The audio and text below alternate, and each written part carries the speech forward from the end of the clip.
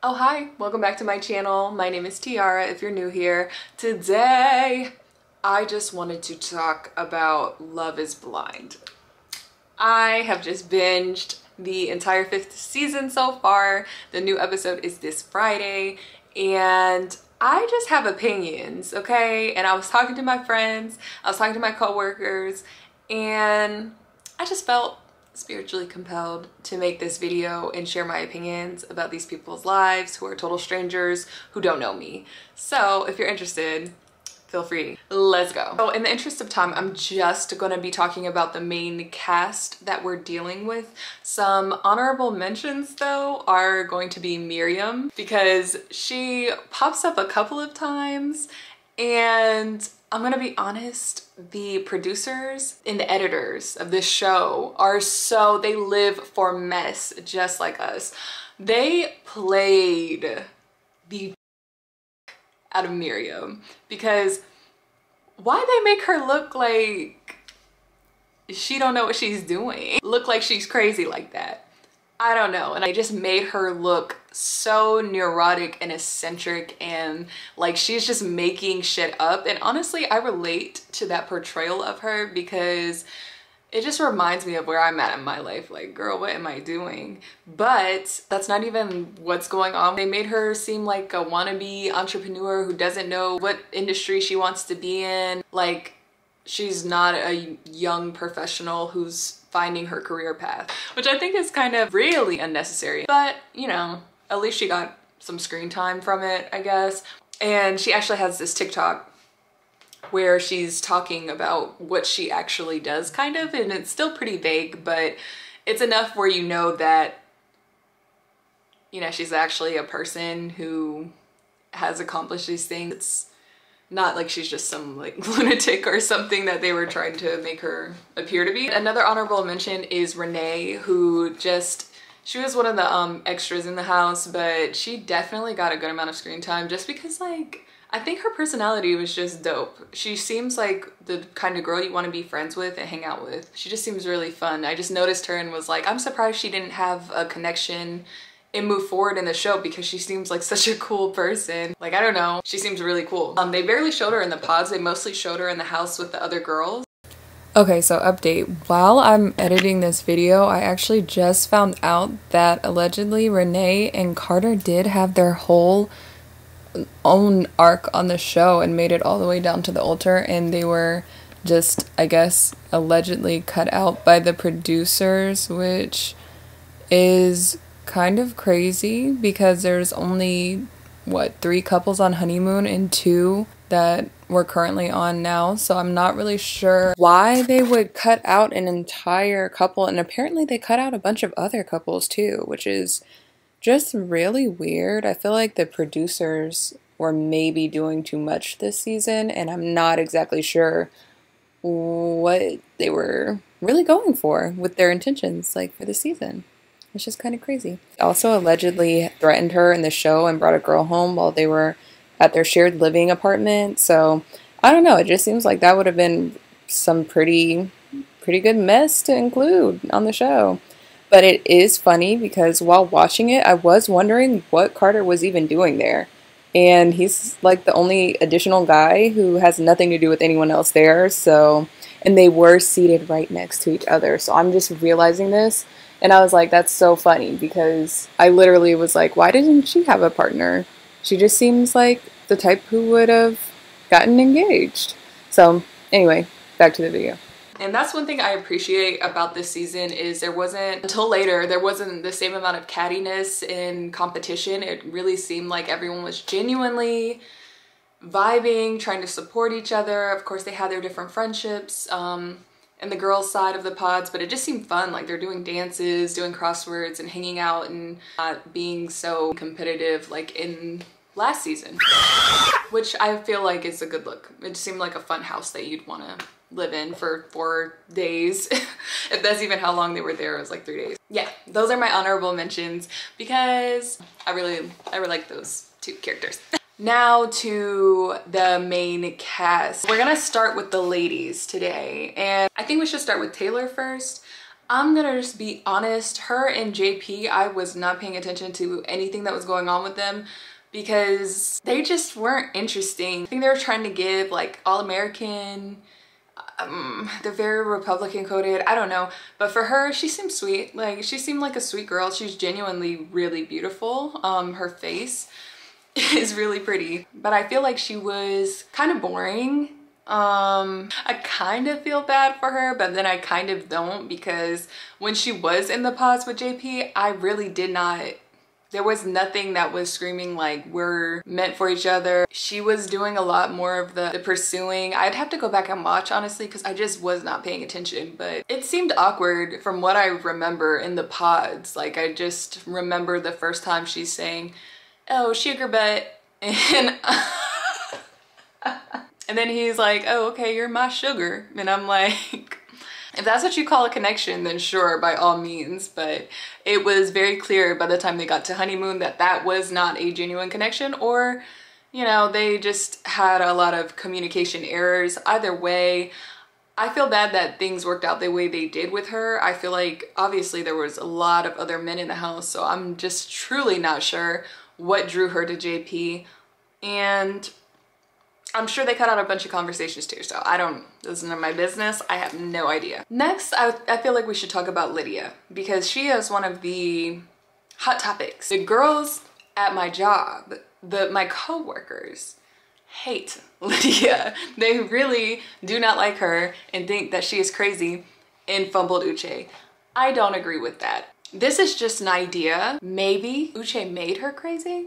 You know, sometimes like with men, I just, when they talk about their ex and they're like, my ex is so crazy. The first thought, depending on the man, is was there a particular reason? But I sympathize with her having trust issues. It seems like he's trying to flip the situation, which obviously you don't know if either of them are telling the truth. I genuinely don't know who to believe with both of them, but I know the truth is probably somewhere in the middle. I want to give her the benefit of the doubt because she's dealing with Uche, but 90% of the time she was crying on the show was ah, uh, but there was no like tear. There was a lot that seemed disingenuine with Lydia. But just to be fair and give the benefit of the doubt. No, she's weird. Yeah, no, she's weird. She has definitely weird energy. I do believe that she knew that Uche would be there. I don't see how she thought that that would work I don't know. It just seems like there's more there. I'll get to that when I talk about Uche. When it comes to the men she's with, I think what's most important, um, just from her conversation where she's talking about everything about Uche with Aaliyah, I think that she just wants a man who can take care of her and provide for her. And when it comes to Milton, he is young, which is gross to her, which is really ironic because in, in some ways he's a lot more mature than her. In their dynamic, she would be more of a mom and less likely to be going with him. Eventually she would leave him. She would leave him. I'm gonna be honest, with Aaliyah, I really, she's beautiful and she is so sensitive and creative and in touch with herself. But for someone to be so in touch with herself, how can you find yourself liking someone like Uche? I feel like she was right to be suspicious of Uche. I really loved Aaliyah's integrity to leave the show instead of staying there for the mess and carrying on for more screen time. Past seasons, I feel like there are a lot of people who are just willing to just keep on going until the end to be like, this isn't right because they want that screen time. I really respect Aaliyah for being like, I'm not about to be played a fool on national, international television for what? because even with her leaving, she was still played a fool. It was really shitty of the producers to put her in that circumstance in the first place. She was probably the biggest catch in my opinion in the women's side from who we actually got to meet and get to know. I do feel like she was way too open and way too emotional with Lydia and obviously she didn't know in the beginning but the whole segment of her crying with Uche and then her crying to Lydia and hugging Lydia, I thought it was so hilarious the turn of events when Lydia starts oversharing and overstepping boundaries because what made you think it was gonna work? Obviously, they both were manipulating her in their different ways, and it kind of shows Lydia and Uche's nature because Lydia is manipulating this girl so that she knows all the information and can keep tabs on her ex and see how their relationship is growing. And Aaliyah is literally just trying to make the situation feel better. That situation is so uncomfortable. I would leave too. That's a hard situation because like, what would you do? I would leave as well. I would, there would be no, oh, I'll try to make it work with her. We're gonna be best friends. She's gonna be there for our, like you met this girl, you know this girl for two days. Be for real. I think that's my thing with Aaliyah is I really like her, but I find her frustrating because she is just not for real. You can't be for real. The whole scene where she's like, I just whenever her and Lydia got super emotional and were crying and stuff, I was just wanting to throw up. you've been here, you've known this guy and this girl for one to two days. Like, I don't know how they screen the people to come on the show, but it just doesn't seem like you're a stable person if you're attaching that deeply emotionally to people within one to three days. That's a red flag. Everyone on this show has a lot of red flags. I think overall she could have just done better. She later came out in this interview and was talking about situation with Uche and how he said that she wasn't even his type. I'm just gonna wait until I talk about Uche for his segment, but like men like Uche disgust me. and I feel like you could tell the vibe of the man like when you meet them. It's, blah, just I can that's something that I'm not surprised by him saying that you know he gives one of those types last thing on Aaliyah is the whole segment where she's like crying to Uche and trying to make it work. I just wish she would have stood in her shit more, stood 10 toes down and said, you know, I'm not, I didn't sign up for this. This isn't what I signed up for was this messy triangle relationship back and forth. You don't understand my perspective, that's fine. I don't think she should have tried to meet him after and still pursue a relationship and make it work because she can do so much better. It just made her look kind of desperate and I truly think she's better than that. I feel like Aaliyah could do better and I would have done the same thing as her and I would have left. So I respect her integrity for that. Next. Next is Johnie. Johnie overall I feel like is just very problematic but in a relatable way to where you kind of spin things sometimes when you know you're in shit or when you know you messed up and you kind of try to soften it. Everyone's defending Johnie after Stacy came for her because they don't like Stacy but have you considered that Johnie is a liar? She did lie in the pods to Izzy and then she said she would never like anybody else and then went running directly back to Chris and told him the complete opposite. And so I can see where the contention would be with Izzy. You know, I'd be lying if I said none of us have like spun a narrative or tried to make ourselves look less bad or make someone feel a little bit better about a decision we made that hurt them but I just don't really like her execution of it. I just don't, I just don't respect any of the people on the show who come running to their second pick to get engaged after they propose or are trying to be proposed to by someone else. That's just pretty icky. And so honestly, Johnie, I feel like she deserved it. Probably not gonna agree with me, but I feel like she needed somebody to check her. I do think Stacy and Izzy, I wanna talk about them, they took it too far and it was really weird um, because why are they so focused on Johnie in the first place? But I do feel like, you know, at some point, things need to be settled. And what Johnie did wasn't right and Chris even was saying he didn't know how deep their relationship was and that she was saying she loved him. She's very quick to lie to defend herself. She's somebody who needs to be held accountable because you can't do that when it comes to people and their feelings. Just it's better to be honest and look terrible or feel bad for a while and get over it than to try to keep spinning webs. And I also think it's fair for Stacy to be upset because Johnie in the house was talking shit about her and her connection with Izzy. Obviously that got back to Stacy, which is why she was holding a grudge. When it comes to Stacy and Johnie, I would rather be close to someone who is brutally honest than somebody who casually lies for no reason all the time to save face. And that's just my opinion. Um, say what you won't, say what you will. I do feel like Johnie didn't really deserve a second chance with Chris, to be honest, but that now that she has one, I hope that she really takes care of him and doesn't take him for granted because he seems really sweet. In life, we get second chances and we mess up, and that gives us a chance to right our wrongs and do better. So I feel like she just needs to do better and do better by Chris and stop spinning narratives and just be honest and just stand up for herself. I feel like crying doesn't really do anything. I feel like she should have kind of bucked up. To be to be honest, I think that Johnie is just one of those people who takes people for granted and kind of uses them for her own gain and spins the story to whatever makes her look the best and suits her the best and that shit will come back and bite you in the ass like doing that will come back to bite and and that's just kind of what happened so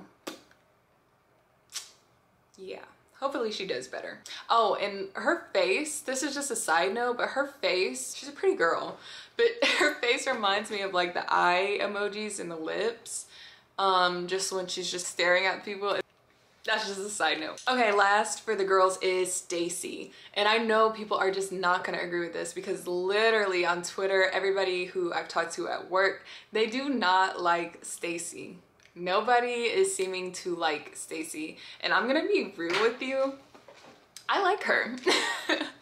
and I don't know if that says something about me, but I'll tell you why I like her. Stacy is somebody who clearly definitively knows what she wants out of a man, out of her life, out of her relationship and career. And for me, that is just so appealing because I'm not like that. I'm not like that at all. And she seems very strong-willed and, and very aware. She is the very bad and bougie, high maintenance, uh, rah rah, oh my god, type of girl. But I think that she is very honest and she cuts right to the point and I really respect her for that, especially in her relationship. I definitely saw the good qualities in her when she was giving the pep talk to Lydia and the first couple of episodes. That really struck me as a moment where I was like, I like Stacy because she said something something along the lines of people who love you won't use your past against you. They'll use it as a map to love you correctly. And that really struck a chord with me. From that moment, I was like, she has sisters. I don't have sisters, so maybe that's why I like her. Even when Izzy has his whole emotional breakdown, she's very quick to try to comfort him and say, what's wrong? Why are you crying? And you could feel her whole energy and tone shift. That being said, going to her situation with Johnie, I really feel that was petty. I don't think it was necessary and I don't understand why her and Izzy felt the need to gang up on Johnie. I just don't understand why they felt that they had to confront her and attack her like that. And it was big bully behavior.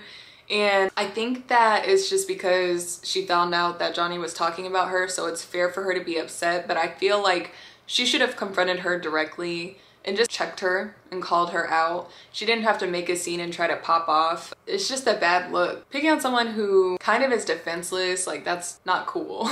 she should have went about it a different way, but I do feel like the conversation needed to be had, especially when you're with somebody now who was involved with this person and you have a history or a situation with that person just pull her to the side and talk to her and let her know. The whole mean girl catty stuff. I it was bound to come up but i just feel like the season would have benefited more with the ladies being a little bit more understanding of the situation and the fact that she was like i felt so bad for her when i took her man. It was giving vile and nasty behavior. You got the guy so why are you both still so concerned on johnie? It's very much fan behavior.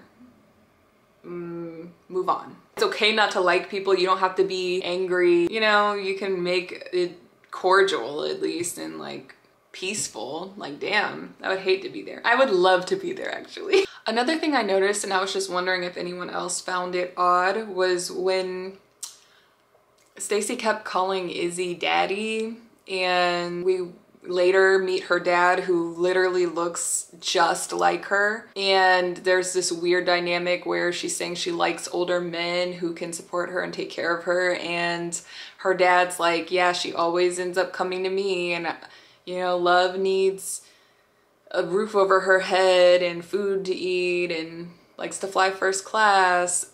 That just gave me weird vibes because why are you calling your romantic interest daddy? Why are you dating older men and then also financially depending on your dad when you need to make big investments or purchases? Just gave me like gross weird vibes like daddy's girl, um, like daddy kink vibes. I don't know, just kind of was weird, rubbed me the wrong way.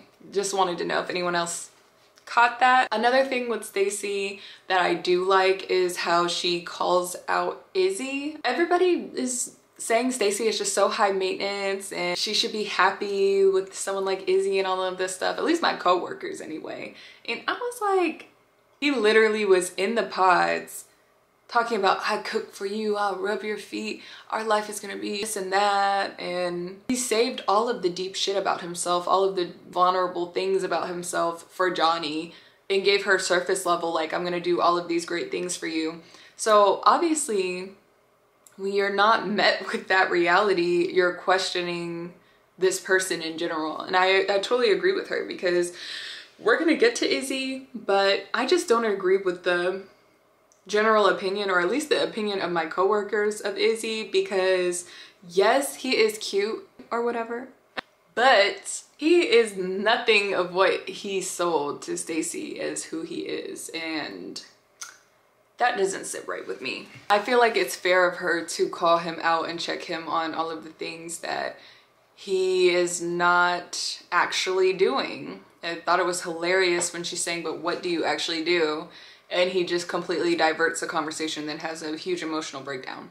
I've dealt with that before. It's not fun. And I didn't like how it seemed like she was just totally manipulated into feeling sorry for him because he doesn't feel like enough. Like, sir, you aren't. Sir, newsflash, you are not. When he came and brought her that gift, I was like, if this is not a home cooked meal, I'm done.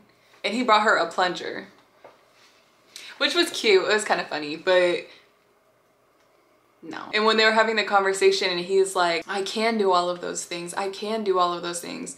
I'm just like sitting here flabbergasted. Like, if you don't get your ass to the cabinet and pull out a pot real quick and cook something, that's all she's asking. And that's my thing with relationships is so frustrating because it's like a lot of the times women will carry a majority of the weight the weight, especially when you're living together, like cleaning, taking care of shit.